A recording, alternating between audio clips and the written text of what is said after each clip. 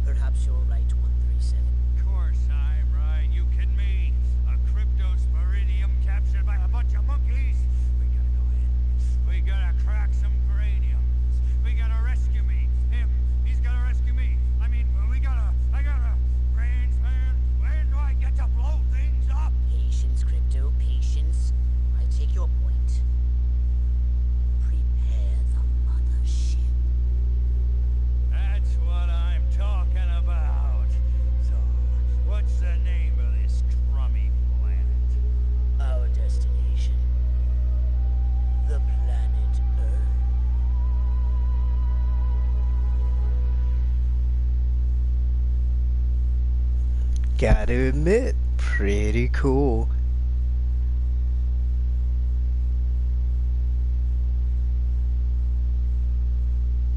A lot of love was put into this, you have to admit.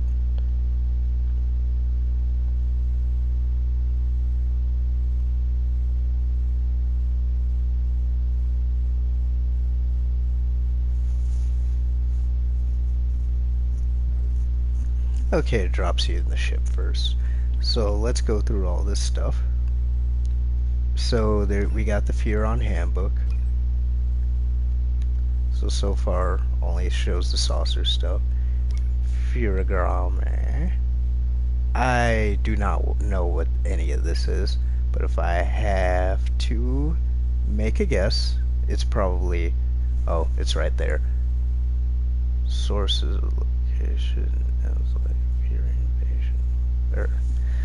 So it sounds like it's probably just the video clips from before. Invasion report again shows you all the stuff, but it's definitely not as hefty as it was in the first game. But there are some gameplay mechanics that are just generally not the same. So, skin selection, this is very new. So, you can actually unlock skins in this game by completing certain tests in the game. There's also this thing where you can just buy them outright uh, for 10 bucks, but honestly, it's not worth it because as you can see, once you unlock them, they're unlocked for all other iterations of play. So, just for the sake of this being the first mission, probably gonna go for that one. Just keep it vanilla. So the Pox Poxmart. What just happened?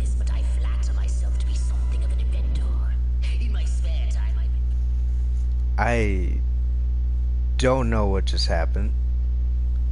But okay, I guess we're jumping right into the game. That was weird.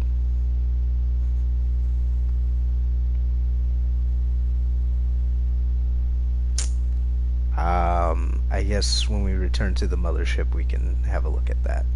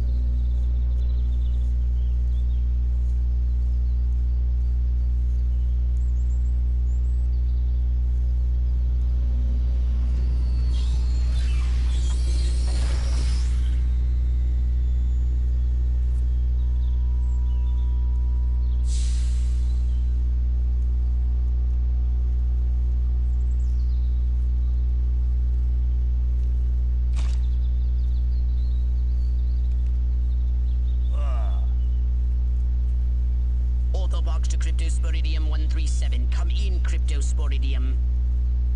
Crypto here. How's the view from the safety of the mothership? Very funny. Let's just say I'm glad I'm up here and you're down there. Loathsome little planet. Now, Crypto, to ensure this invasion runs smoothly, it is imperative we identify the dominant life forms on this world. Those lactating bovoids are likely candidates. Surely you don't mean those foul-smelling gas bags beyond the fence? Yes, I'm afraid I do. But they're covered in nipples. Now, Cryptosporidium!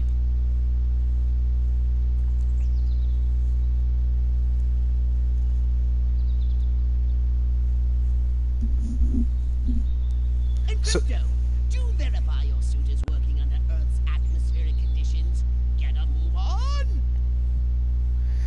So, graphical changes aside, there's a lot of quality of life changes. As you can see, the game just doesn't completely stop. You can uh, actually have the choice to read all of this if you want to. But at the end of the day, yeah, let's let's not say we did. So same as before, camera, walking, but all the graphical changes aside, you have to admit a lot of love put into this iteration of the game. It is really nice, but I cannot use my jetpack straight out of the gate. But uh, things are kind of wonky, like this I don't believe is in the right area, and the little collectible isn't here. Oh, it's kind of just in a different spot. So for the most part, it is kind of the same, just with a huge face facelift. Um, tells you what these are now. Like I said, you know, they're just collectibles. They give you extra DNA and all that stuff all the goody good stuff. You can see your DNA there. Oh yeah, I didn't go through all that, but let's be honest, we probably we don't even need to.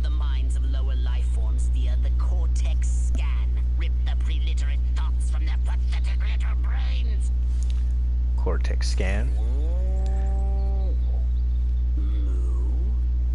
Primitive, yet profound. Scan another one. And as you can see, the whole concentration bar thing is gone. And on top of that, there's no weird button combos to be able to do certain things, which I really appreciate.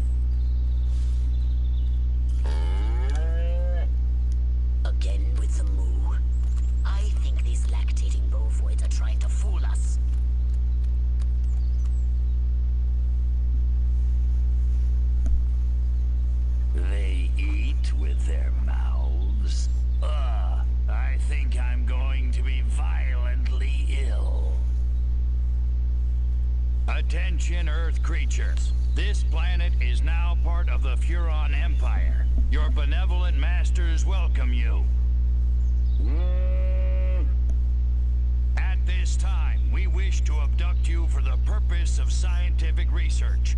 The procedure will be protracted and invasive. Do you have any objections? Earth creature, I am addressing you. Respond or be vaporized. I don't care how many stomachs you have. I don't have time for this. Neurons have evolved the astounding power of psychokinesis, Crypto. Target an object or creature, then lift it into the sky. Use PK to finish off the belligerent bovines. Slam them into the ground. Perfect!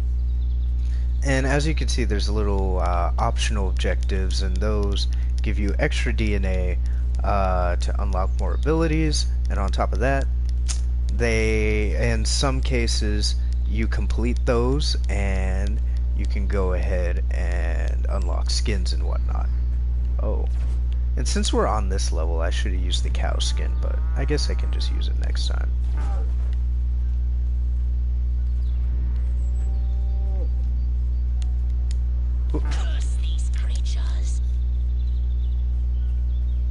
A lot more voice lines, too.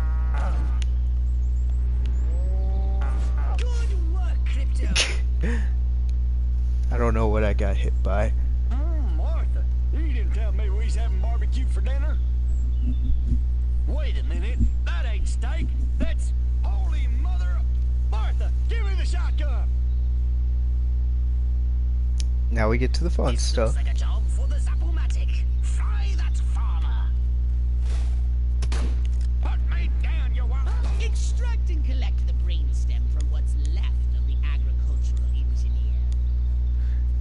now I got the buttons all twisted around because if you watch the first one, you know the PK button is actually the, you know, fry people button. So, yeah.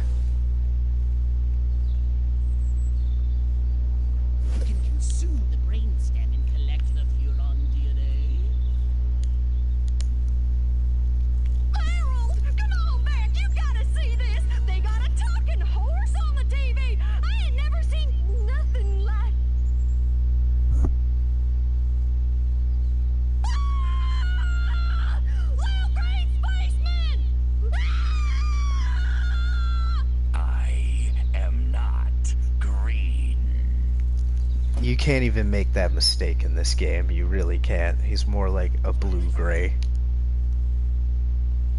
Okay, so I was wrong. In some situations they do kind of just stop the game for you to read it, but you know, shields, you know, it's the energy, you know, more damage you take, then you'll be in that red, and red is bad because you will die, but it's okay. Fucking shields recharge.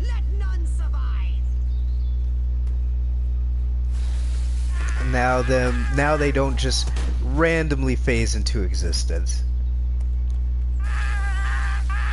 And water hurts you. This doesn't hurt you, but standing in this hurts you. I don't know why. Doesn't really make too much sense, but who really cares? See, we don't need to use any concentration. Concentration mechanic is completely removed.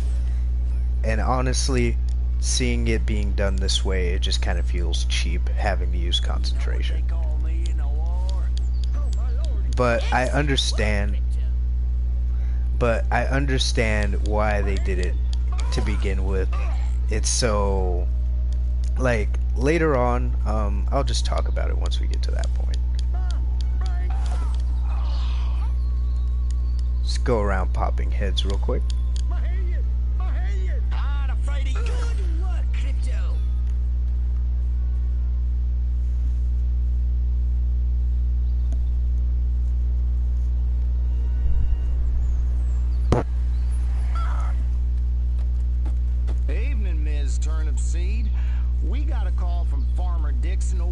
Side of the state road. Said he heard some pretty strange noises coming from over this way. Little green spaceman! What is that? A new silo? Uh, electrocuted him with a big old... Crypto. That uh. human law enforcement officer is attempting an unauthorized entry of your spacecraft. If those P-brains were to get their hands on your quantum deconstructor, they could rip a hole in the space-time continuum.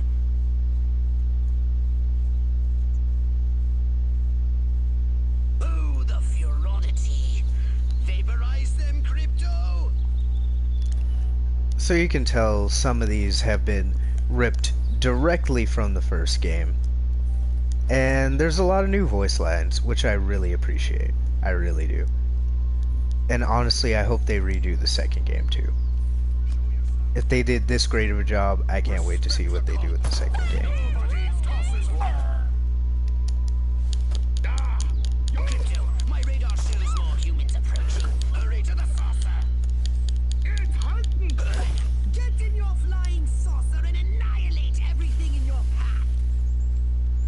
Honestly, the Zapomatic has to be my favorite.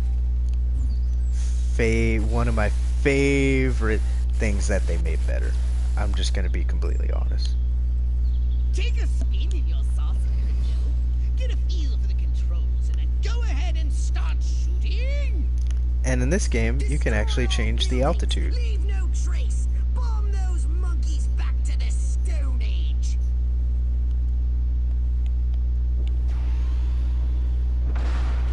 You have altitude control, the saucer is a lot faster.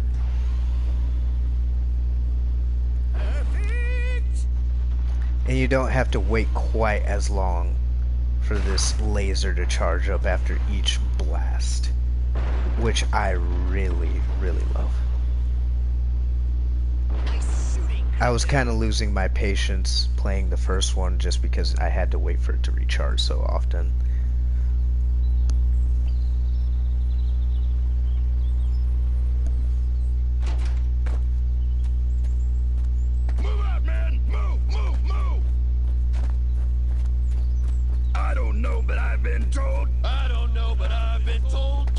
McCarthy's good as gold. Joe McCarthy's good as gold.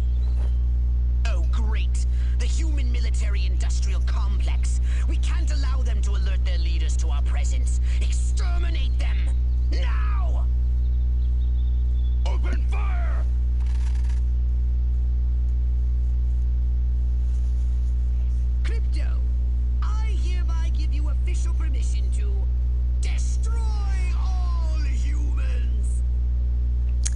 Yeah, I know, kind of cheap, kind of cringe, but you you gotta appreciate the amount of love that they put into this game. You have to. Look out! There are more to the north in the bushes. Like coming from a person Replenish your saucer's shields by draining any human vehicle. like coming from a person that played the f- very first game when it came out. I have to admit, it's a pretty good, pretty faithful redo.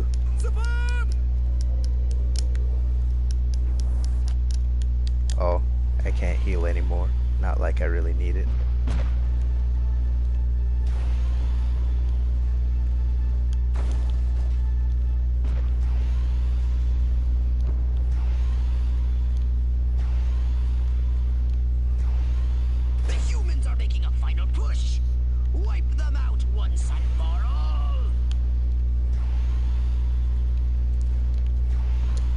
And they did add a little bit more to this.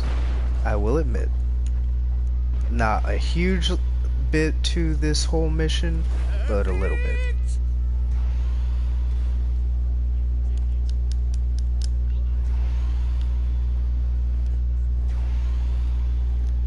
Kind of hard to hit the smaller guys, though. Do I actually have to kill, like, whatever? Oh. It, it's just a cop car. I see. Excellent work, Crypto.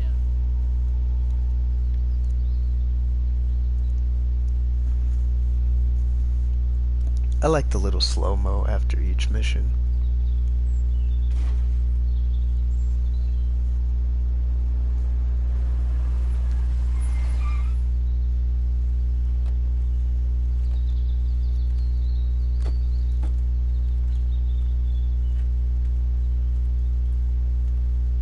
Did you see what I saw? You bet your sweet ass I did. What did you see? Little green man in a flying saucer wiping out the best infantry unit in the U.S. Army. Right, good. Me too. Green? Not gray? Don't be a stiff. You know what it means? Absolutely. What? It means the paper's got it right for once. Get on the horn to Silhouette. We've got the worst case scenario. Eggheads were actually onto something? I don't believe it. Believe it, Roswell was only the beginning. The invasion is on.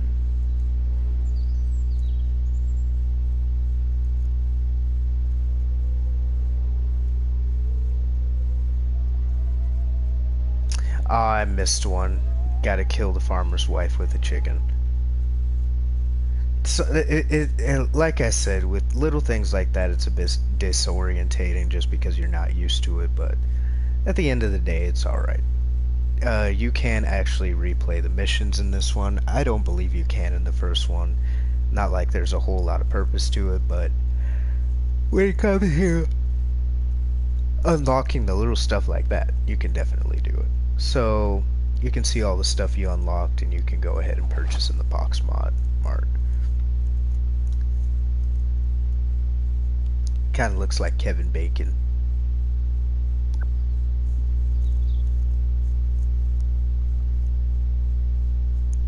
Now I can't do a direct comparison or anything like that now, but you can only assume most of that stuff probably wasn't unlocked to begin with.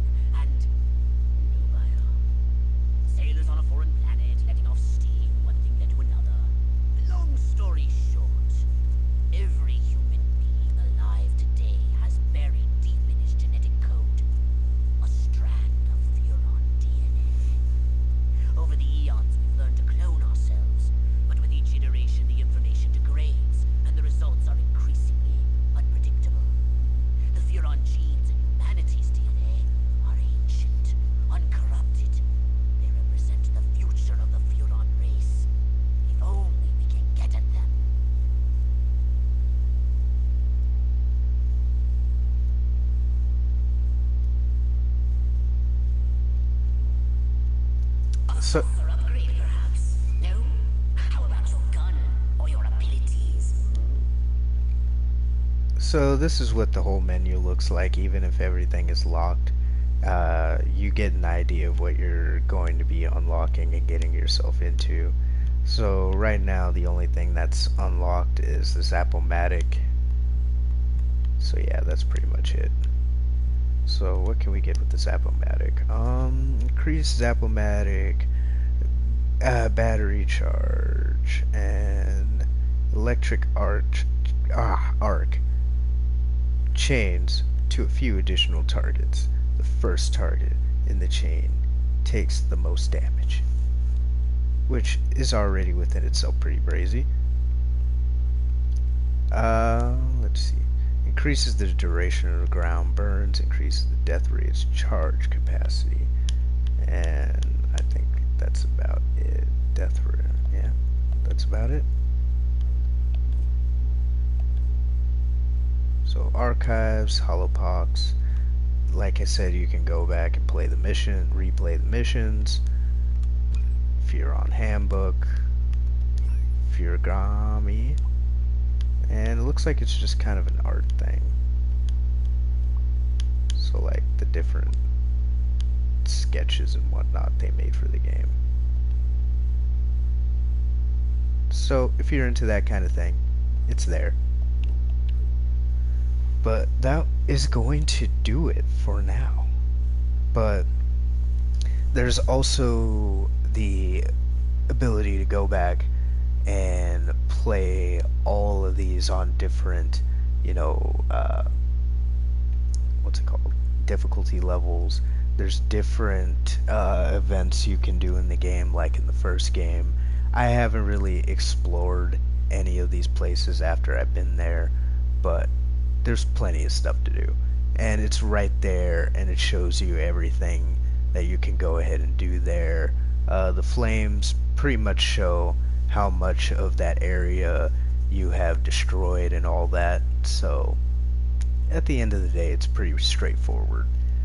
In my opinion, this is a great remake. It is a labor of love, and I'm glad that they did it. And I'm ha- and I'm really, really hoping that they decide to do the second game. I really do. The second game is probably my favorite out of the entire series. And if they were to come back and do the second game like this, if not better, ah, I would be so happy with that. But anyway, for now, we're done. And I'll see you on the next episode. Hope you guys enjoyed. See you next time.